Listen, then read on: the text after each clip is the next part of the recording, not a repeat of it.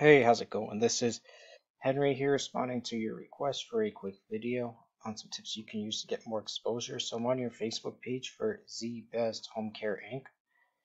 Going down your Facebook page, it's good you're using some posts. So you're posting for some aides, which is good for caregivers. Also, you have a little bit about yourself too, which is good. The more you post with too with Facebook, that'll engage with your users. And look in the about section, it's good you got your address listed here. Um, so you mentioned specializing in community personal care services. You mentioned your staff is detail oriented. It's good you got some likes. You got your phone number on there. People can message you. See an email address on there, which is good too. I tried going to the zbesthc.com website, but some reason it wasn't working. So, and it's good you got your hours here. You mentioned you're in medical and health. So while your website, if your website's being built, whatever it is, I'm going to show you how you can use it to your advantage. So here's what happens when, when you search for somebody searches for home healthcare and they're in Brooklyn, New York. Here's what pops up. So the top few results right here, these are actually ads. These are people paying to be on page one. So they're renting that space. It's always better to own than rent.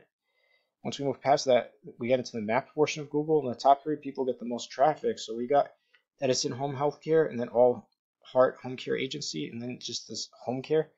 This looks like it could be a good opportunity for you to rank because home healthcare is missing a website. They don't have their map listing fully optimized.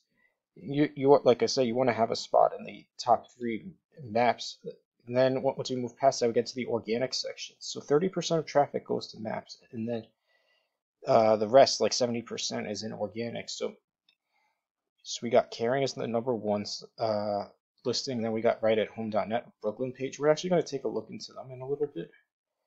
And then we go down, and then we got more ads. So next, I'm going to show you some stats on Google search. So page one gets 91.5% of Google traffic. As you see, the traffic falls off significantly when you hit page two. It goes all the way down to 4.8%.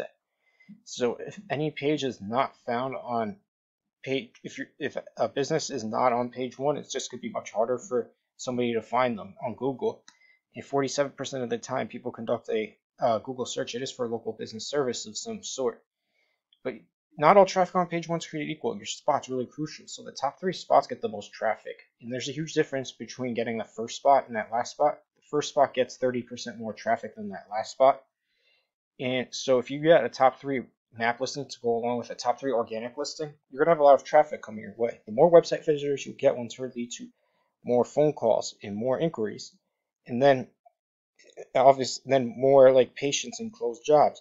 With that extra revenue, you can grow your business even further. Even by having a position on page one, you can add thousands of dollars in monthly revenue. So now let's take a look here at here it um okay here we go. So it's right at home. This is a page about Brooklyn. So that's another thing too. If you have a website, you can make location pages for each place you service. So maybe you go to all boroughs, so Brooklyn, Queens, Manhattan, Bronx, Staten Island, or you just want to go into Brooklyn. You could do it by different neighborhoods. So Williamsburg, Gowanus, Flatbush, Midwood, Borough Park. There's a lot you can do there. So you see here they have like a nice simple website, customizable home care for seniors throughout Brooklyn. Let's see they got a video as well anytime you have a website, you always have to think yourself what's the first action you want the user to take. So you always want to make sure they can contact you. So you see like up here they have like a phone number at the top in the top left. You always want to have a phone number at the top left. The user's eyes always start there.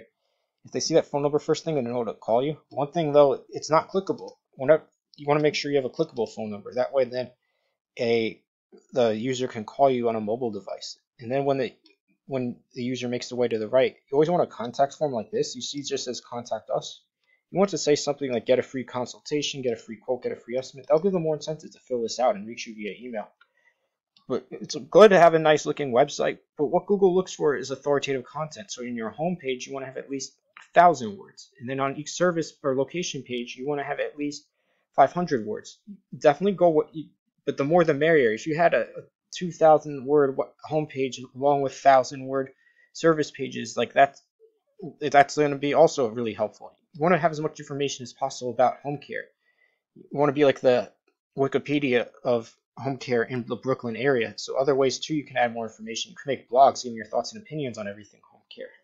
That would be another thing too, like have all this valuable information. It's like Google want to expose you because it's just like, oh, I have someone because it's like, oh, Z Best Home Care has all this good valuable information on home care. And while having lots of great authoritative content is very essential, just one piece of the puzzle, another thing you'll need is backlinks. A backlink is when you put your website link onto another website. Not all backlinks are equal, some are more powerful than others.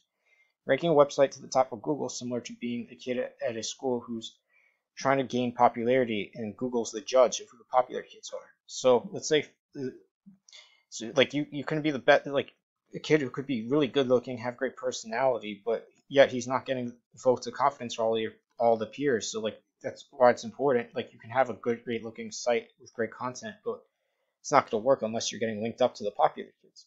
So let's say, for example, the New York Times wrote an article about some home, um, home health care agencies or just home care, and they mentioned you and how good you are. And they had your website link in there, and they gave you that follow. Google would see that, be like, oh, the New York Times.com, most popular kid in New York likes the best home care. We're going to move them up the rankings. And you'll find more and more of those popular sites to link up to. But if you put your website link onto a new site called uh, Joe Schmohomecare.com and they gave you a follow, Google would see that and be like, oh, we never seen Joe Schmo Home Care before. And he likes the best home care. We're going to keep the ranking the way it is. His opinion doesn't mean much. So we're going to go into a tool called Ahrefs. This gives you an overview of how a website does in the search engine. So here it is for Right at Home's Brooklyn page or web page. So you see them mention the headline home care, senior care, Brooklyn, in-home care, and senior assistance. You want to have words like that. Some people search for that, especially you know it's it's in Brooklyn. So they appear for 287 keyword searches. They have 146 backlinks. So the thing with backlinks is you it's good to have more than not all about having more backlinks than the competitor. You want to make sure you got quality too. Definitely, you want to have a lot of quality backlinks. It's all good too if you have more than them too, but you just want to have a lot of quality. Quality is a little bit more important. And as you see here too, like they're actually generating revenue from the from the search engines because their traffic's valued at over at 1,700, so they possibly could be getting more revenue from it. So let's take a look at some of the keywords they rank for.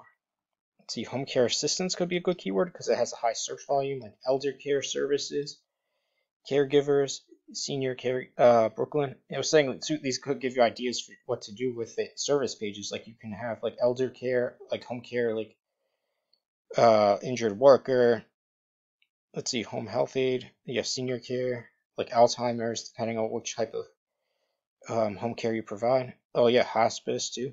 So hospice in Brooklyn. So that, that hospice uh, gets 90, 50 searches a month. Hospice Brooklyn. Let's see, Phoenix Rehab. Let's see, hospice.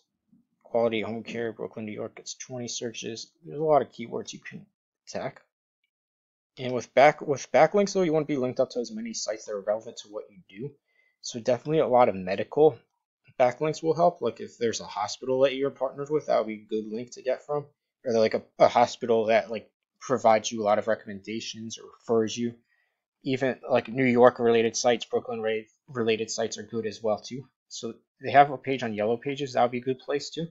Definitely like the Brooklyn Chamber of Commerce would be a great place as well too, depending on which neighborhood you're in. And let's see, where else? Site links. Let's see, adapting spaces could be another one. And to rank, one thing you'll need to rank in the map portion of Google are citations, which are the number of times your business name, phone number, and address are listed across the web. Believe you have one on your Facebook page too. We're to check it out. Yeah, this is a citation right here, which is good. You could put that on all your other social media accounts. You want to make sure that you have between 50 to 100 plus more citations than your competition.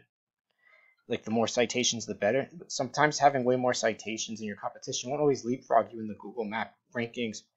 But we're gonna, um, we'll show you some tips about what will help. So we're gonna go into a this tool called a heat map.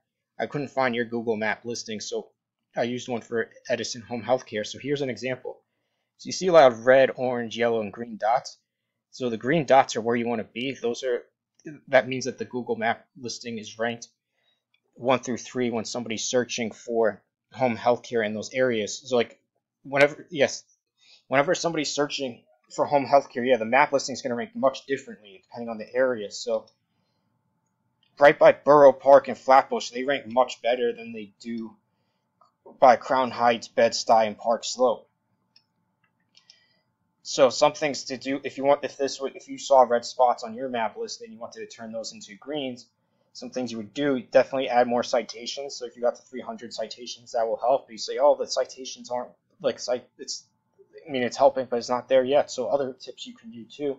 Make sure you add a lot of authoritative content to your website all about home healthcare. Make those location pages for like Midwood, you know, Williamsburg, Park Slope, Crown Heights, Bed-Stuy, Brownsville, depending on where in Brooklyn you want, like even Bergen Beach, like say Brighton Beach, Coney Island, Sheepshead Bay. There's a lot of location pages you could do, and then make sure you're getting those backlinks too, like those medical and New York related backlinks that are strong and relevant. That that will help. Even on your map listing too, you want to make sure you have all the necessary information filled out that Google wants you to fill out. So your name, what like your services, your address, what you do, pictures, your logo, and you want you can actually utilize your Google Map listing similar to Facebook. You can post in there too as well. You can make all these different posts about like whether it's promotions, what you do, and so on. Make another thing too. You can add geotagged photos to your map listing too. That will help. Like you'll see if you're doing work in Park Slope or Crown Heights or Brooklyn Heights, or even like Flatbush, you can take a picture of wherever you're at, saying, "Oh, I did some work here," with your smartphone. Your smartphone, if you take a picture with your smartphone, it'll come with those geotag coordinates that you were in those areas. Then you upload that to the map listing, and Google will see that, oh, Z Best Home Care works in these agencies, so we're gonna have to try to get them more exposed in those areas. And yeah, you want to have at least 30 geotagged photos. And definitely another thing that helps too is getting more reviews the more five star reviews you have, the better. Like if you're getting all these rave reviews, Google's gonna want to show you off, and especially if you're doing everything else that they're liking too, they're gonna be like, oh, this guy's like way ahead of everybody. He has the five, he has all these five star reviews. He has a lot of all these citations. He, he posts a lot in the maps. In the he posts a lot with his map listing. He has all these geotag photos. He has a really strong website. It's got like there's nobody else like him.